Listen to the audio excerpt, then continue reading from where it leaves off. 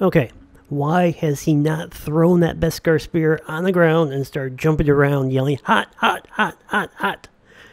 Because anyone that's ever held a piece of metal and attempted to heat one end of it should know exactly what he should be feeling right now.